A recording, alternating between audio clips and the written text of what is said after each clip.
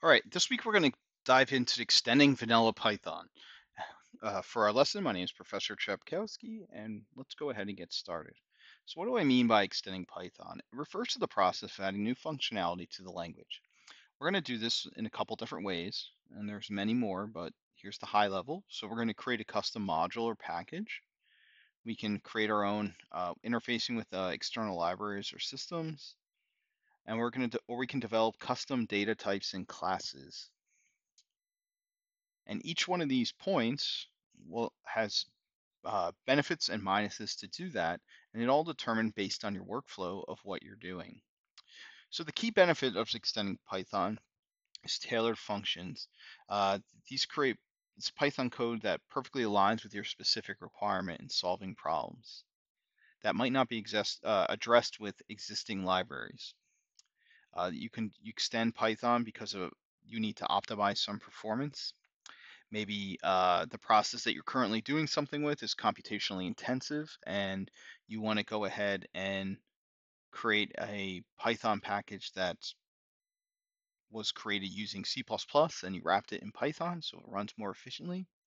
Or maybe you have a process where your data is in format A and you have to do some interoperability and convert it into uh, dataset B. This is uh, called interoperability, and it expands the capabilities of what you're doing and allows you to create versatile tools for various applications that you're dealing with. So maybe you're writing a function that takes KML and converts it into a um, converts it into a feature class. So that's a GIS example. Or maybe you have a database and you need to have it talk to another database that it doesn't natively, natively know how to communicate to. You can do customization and you can have full control over the behavior of your custom code and fine tune it as you need. And then there's also code reusability. So you can create small pieces and functions that can be reused through your entire package, and it'll promote efficient development and uh, uh, practices and reduces redundancy. So let's say you have a function that does something simple. Uh, maybe it counts the letters in a sentence for the different types, and you have to use that in multiple places. Well, you wouldn't want to write the logic 15 times, because what if you make a mistake? Then you got to update it 15 times. You can create a method, have it do it once, and you can go ahead and uh, fix it that one time and reuse it as many times as you needed. So uh, I touched briefly on some use cases, but here's a few more. So uh, use cases for um, extending Python or scientific computing. So you can use libraries like NumPy, SciPy, Matplotlib, basically to accelerate uh, data visualization and uh, calculations. A lot of that's done because uh, the underlying framework is actually written in C and just wrapped in Python. We have web development. Yes, Python can be used as a web development tool. You can use things like Django, Flask, and Fast API to create custom web applications and um, services machine learning. So you can use things like TensorFlow and PyTorch to extend and um, and develop custom machine learning models. You can do game development. Um, you you know you can use game engines like Pygame to create interactive games, and you can do data analysis with libraries like Pandas and Plotly to expend specialized data analysis tasks, um, or the ArcGIS library. So let's take a look at some stuff. Uh, we're going to talk about index and slicing. So when you have a list or an array object, uh, it starts at zero. I know um, you're probably familiar with that. And arrays can be queried with negative or positive values. So if you want to get the last object in an uh, array, you can put in negative one. Or uh, if it's the positive direction, you can start at one and go to the length n minus one, because you have to remember you start at zero, not one. So let's take a look at an example. Let's in here we have a list. It's one through six, and we want to get the last value. So we can show that the negative one value is actually the last value six in the same one, and it'll print true. So with slicing, uh, we can chop up arrays giving uh, by giving a start stop value like a pie or a cake.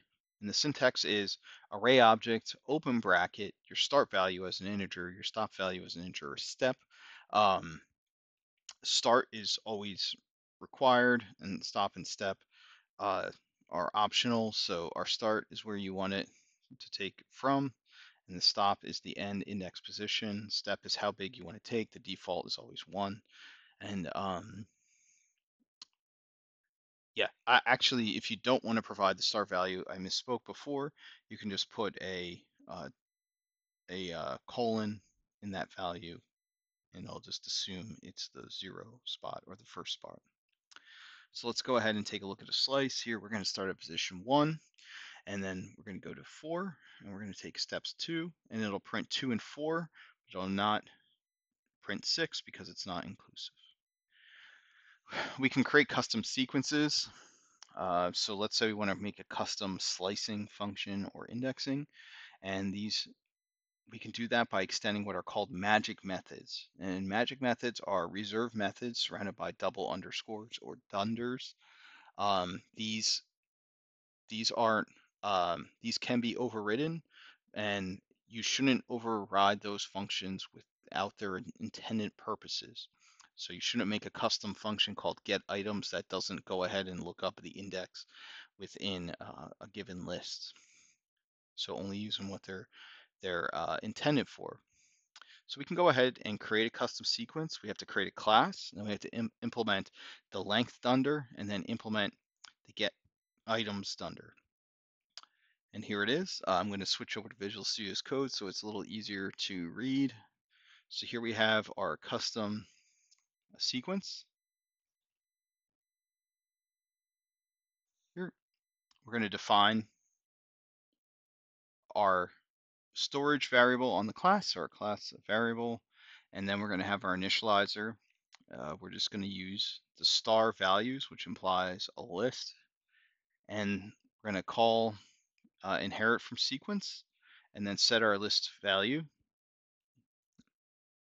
We're going to define our two methods, a length and our get items. So here with our length, we do def dunder uh, len we return our integer value. So we just use the built-in for our value, and then we can call our, uh, we can do get items, and we can return um, the value that we want to get. If we go ahead and run this, we can see that we get back six when we get back, when we take our first item within our custom sequence. So let's go back. The next thing we want to talk about are content man, uh, context managers, and they're considered one of the most useful features within Python.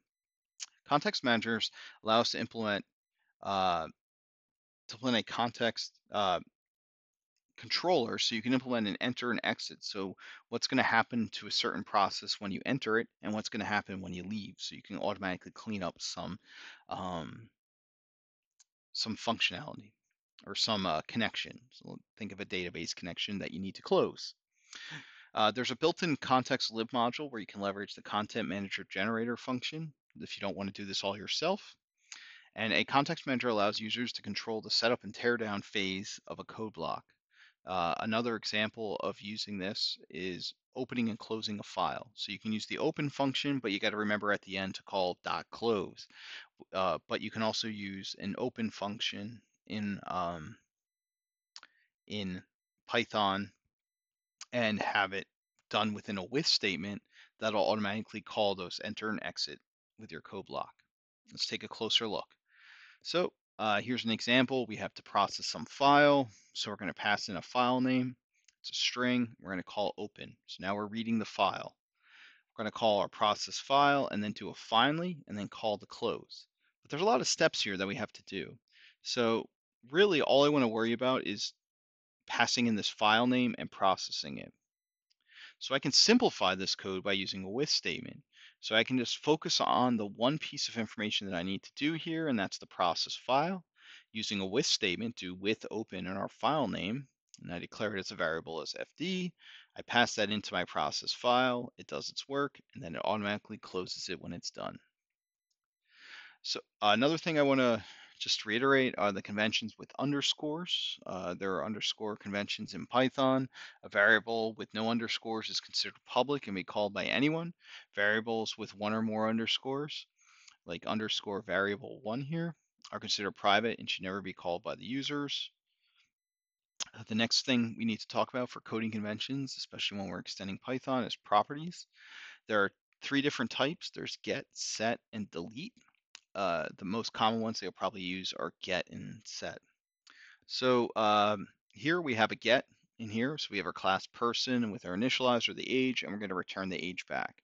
So the purpose of the get is to retrieve a var variable of an attribute. The syntax is the at property on the method.